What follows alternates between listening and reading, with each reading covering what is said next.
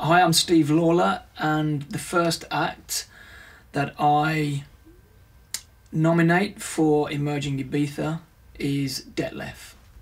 It's not just about the talent, it's also about the person behind, it's also about the personality. And something that I've recently learned is it's important to make sure that the person behind the talent is a nice person and someone that you think will be able to accept the challenge and somebody that you know won't change as the success comes. Sometimes I, I sign records to my label but I don't necessarily get behind the careers of them as DJs and artists. With Detlef and the other two artists that I nominate there is something about them.